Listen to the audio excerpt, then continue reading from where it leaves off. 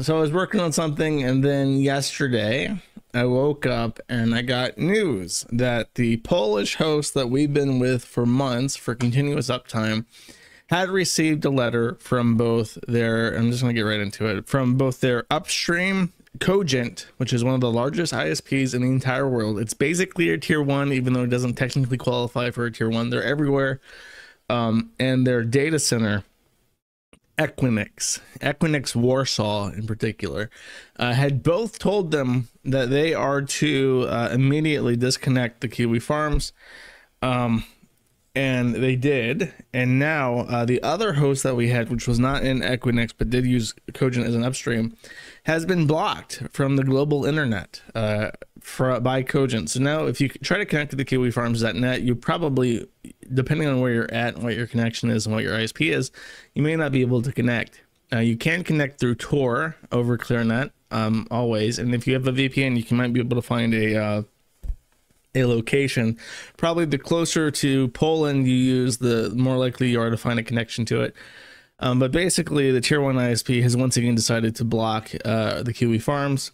Um, this is the the backbone of the internet, the one of the most important companies in the entire world, a 25 year uh, company founded by um, what's his name? Some fucking asshole. Um, I don't know, but it's been around since 1999, and uh, I know for a fact that the CEO of this company is personally trying to shut down the site. Because when I um when when Zayo dropped us over a year ago now, I reached out to one of the only other ISPs at my data center to try and get a connection, and one of the the ISP that I was told is basically uh, completely unscrupulous uh, without morals was one of the most annoying aggressive advertisers in the in the industry. Had uh, a company that had been removed from ARIN or reprimanded by ARIN because they had been using Whois information to send out unsolicited marketing emails had been booted from from tech conventions because they were using mark uh, that as like aggressive marketing within the convention space.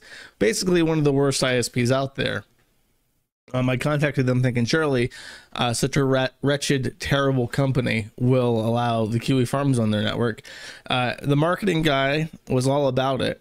And uh, after a week of talking to him, he basically came back and said, I don't know what the issue is, um, but the CEO is directly shutting down this deal. And when I try to figure out what's happening, the higher ups, and management basically just tell me don't even don't even look into it. Don't don't ask questions. Don't do anything. So a full year later um, after enjoying a good amount of uptime through an isp that really doesn't give a fuck uh, suddenly cogent is sending out emails demanding that the kiwi farms be taken down citing specific urls um, that it alleges are child pornography and revenge pornography um, the video that they are alleging is child pornography is a 15 year old watching a Chris Chan video that he uploaded to the forum and also to YouTube. It's still available on YouTube, but for some reason, um, I don't know if you remember the Washington Post article. The guy named Clay, his real name is Sean. He sends in apparently he sends in like um these complaints on behalf of Liz Fong Jones now because I guess the other trannies have been fired and now the the man that's not like a, a tranny is the only one left in his Discord that's still doing this shit for him. Um, he has like whittled down his reports that I've seen them over time to include, oh my god, they said this, and then they said this, and then they said this, and then also there's this nudity nudity on the site, and now it's just like a list. Like this is Anisa Jomha's tits. This is um, some retarded woman's tits that she posted voluntarily to the internet here's a fat kid watching a shock video. This is child pornography. And that's what he says. And the ISPs will use that as justification to censor the internet. Um, so the situation now is that Cogent has blocked for the first time, because usually what they do is they um I- have announced my IPs, but because uh, Liz Fong Jones is suing um for those IPs in Australia, I don't use them anymore, and also because they uh have been blocked so thoroughly. There's no point. But this is the first time I've seen other people's IPs being blocked instead of my own. Um, there's a one of the Polish companies that's still left. Uh, they're the only IP that's for the A records, and um, if you try to connect, and your route would have to go through Cogent, uh, it's getting blocked. That's the first time that's happened to somebody else's IP space um, after a threat from from Cogent. So Cogent has once again expanded the realm of censorship. It's no longer um, if 1776 Solutions is broadcasting an IP address through your space, we'll block those IPs from being broadcasted. It's now if you're hosting the Kiwi farms on your IP space, we will directly and personally intervene and block you and we'll also complain to your data center and get your data center to potentially throw you out from their their space like physically remove your hardware and send it back to you. So um needless to say if you are listening and you are in the industry and you have deals with cogent um if you're not in the position to cancel i would ask that you complain to whomever your sales rep, your manager. You have a whole NOC escalation chain. Uh, find the highest person on your escalation chain and start complaining. And if they say, "Well, it's the Kiwi Farms," blah blah blah, just say you don't give a fuck. And if you do have the option to change host, change host. Um, like the only tier one ISP that I know of that is not actively fucking with the Kiwi Farms is NTT NTT Global or NTT North America. Uh, it's a Japanese. Com- the Japanese part of it is apparently um, in the, in the Asia Pacific region um, and China. They do. Uh, they will block block us, but NTT Global does not. Um, but Hurricane Electric's blocked us. Cogent's blocked us. Um, Cogent's super aggressive. Hurricane Electric doesn't let me broadcast directly, but it will transfer between different hosts. So Hurricane is like doesn't want anything to do with us, but they will trick like they won't actively go out of their way to block uh, black holes like will. And it's just like um, and in the past, uh, Lumen and Level Three, same company, uh, they've also done it. It's just like it's literally crazy because once again, like you would think if there was an urgent issue with network abuse or some kind of illegal content, and I I, I posted um, on this thread um, every post that is being reported as illegal content. And you can go through it yourself. Now I, have actually censored it. I've made a note for all these posts just out of curiosity to see what happens what they like what they use to justify censorship. There's now a um a posting this post is censored because of tier one isps um i will i will work on this system over time uh, to see what happens but uh, that's what you'll get finding those. And there, just to go over them real quick so you know what's happening. Uh, it breaks down into four categories commercial pornography. This is all Anisa Jomha. This is not revenge pornography. She sells these. I'm completely within my right to, to criticize this. Uh, voluntary pornography, which is um, Elaine Miller, who carved my names into her thighs and published that. And then Chris Chan fucking a blow up doll was posted by Chris directly onto his own Twitter, and that was archived and uh, Sean thinks that that is revenge pornography for some reason, and Cogent seems to agree. And then there are leaks. So there was um, the Rooster Teeth leaks, where the guy cheating on his wife had his nudes leaked by his wife, um, which became a, a massive controversy. That's also revenge pornography, apparently. Um, then there is uh, perhaps the only, arguably the only actual revenge pornography, which is where um, the in the ass napkins thread, where Aid Zero and um, uh, Idiot had their breakup in public, and so he just started dumping nudes of her one at a time in the thread to say like uh, don't stop talking about me. And that became like an issue in the courts, but I never received a court order to take down anything calling it revenge pornography. So my position has always been I'm not going to censor anything that I don't get a court order to remove. Um, but apparently Cogent has looked into this matter, has taken it very seriously, and has came to the determination that is revenge pornography. So uh, we don't really need a court system because uh, let me let me find a picture of him actually.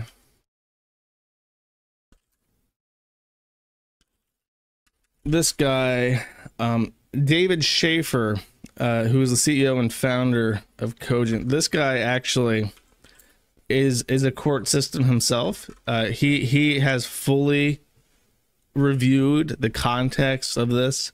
Uh, he has reviewed all possible options about what could be done.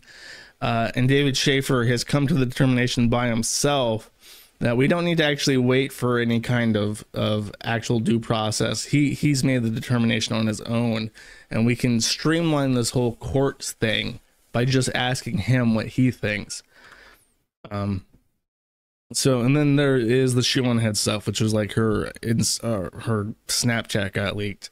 Uh, this actually isn't even visible without an account, so I don't know I guess theoretically, having any access to anything that anybody on the internet does not want you to have access to is in itself, according to David Schaeffer in his infallible process of uh, considerations for illegal content, is not allowed. And then finally, the thing that they this guy just keeps like the fucking Sean guy just keeps reporting this as as uh, child pornography. It is on fucking YouTube. I'll just show you what it is. Um, let's see. Oh, I'm not lo- not logged in. So, oh, I am logged in. Just so the button doesn't show up because it's broken. Okay, whatever. It's literally just a YouTube video. Um, about of, of him like you know the Julie video where Alog watches Chris Chan fuck a blow up doll and he goes Julie. It's the exact same thing posted in 2023. It's on fucking YouTube. You can go find it. But that's child pornography, according to, to David Schaeffer and his infallible process of uh, looking at internet content and determining on himself without any kind of court order that that's what needs to be done. Um, so I've just blocked all that shit and I want to see what happens. And what happens is that host team still dropped us, even though I sent them an email saying, like, look, everything in this email that Equinix and um, uh, Cogent are complaining about is blocked. So if that's their issue, then certainly the issue is now resolved. And they didn't reply. Uh, they did drop the connection, and I haven't heard back. So I've actually tried reaching out to Cogent. Cogent doesn't reply to my emails.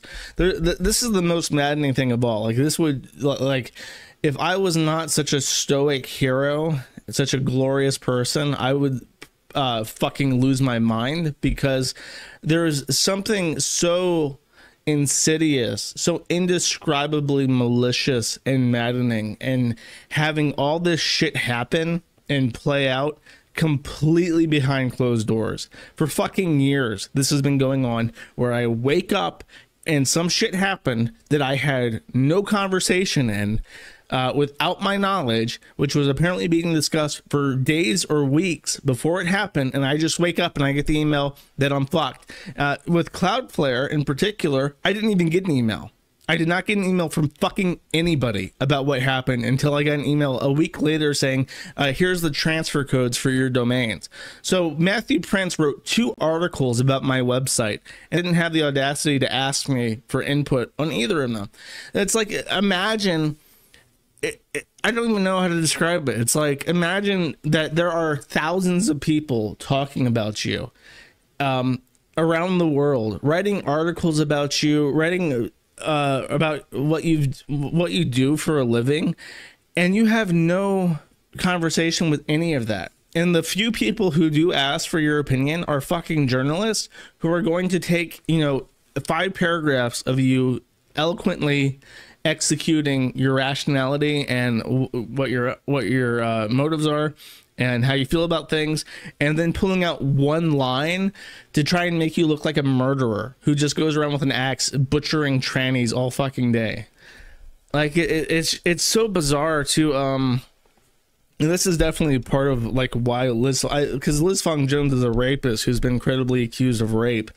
Um, I think that that loss of agency and not having like control over what's happening around you is like sexually arousing to to Liz like because Liz is sexually attracted to like BDSM power play shit and rape um, I think that his idea is like oh I can make it so that this guy doesn't have control over um, like fundamental rights and uh, to to you know free expression on the internet, and that's like a like a, a dick hardening. It, well, his dick is cut off. Um, unfortunately, Liz Fong Jones's penis was surgically removed, and there are blog posts explaining how much pain he's in when he has to dilate the ever closing flesh hole that he's created for himself. But if he did have a penis, it would swell with blood uh, and arousal for the uh, the the uh, agency plays that he tries to to go through. by uh, censoring shit from the internet. But yeah, it's it's like it's crazy. Um, it's it's genuinely fucking maddening that just like how often it, it always plays out like this too. It's always some big ass company that makes billions of dollars a year is going to make a decision that impacts tens of thousands of people and they're not even going to talk to you about it until they pull the plug if you're lucky if you're lucky, you might get a glimpse at some of that back uh, backroom conversation that's happening. But they don't even. But they, that's an accident. If you get a glimpse of what they're actually saying or what they're complaining about, that's not intentional. They didn't intend for that to happen. Exactly like with Zayo, um, Blake Willis. A friend of Liz Fong Jones in Paris, who used to work for Zayo but no longer does for some reason, can't imagine why. Um, decided to uh, unilaterally uh, lodge through the complaint department as a 20 year senior network architect in the in the company um, to have me removed. And the fact that I was CC'd into these emails where he was outlining that look, they have a Wikipedia page that says they're a bad site, so we got to remove them from our network, right? That thing that was an accident. I wasn't supposed to actually see that. It's I don't know. It's uh I don't mean to go on for, about it for too long, but I have to vent like at some point. Um so as far as like moving forward, it's it's um it's just like I, I can just I can just keep finding new shit constantly because my my hope is that I'm just gonna keep doing this, and they're gonna have to keep fucking with other companies over and over again, um, and they're gonna, they're gonna have to pay, you know, thousands of dollars a month for an entire abuse department dedicated to finding the kiwi farms and handling complaints about them. I'm just gonna do that forever, um, because there's there's still nothing stopping me from just launch because these VPS things are instant deploy. I just go to a random website I pay ten dollars in Bitcoin, and then I have a VPS. You know what I do? I install a proxy, a TP, TCP proxy that doesn't have to have certificates. It doesn't have to have anything installed onto it besides HA proxy. And then I do a TCP proxy to my actual servers, which are in different data centers.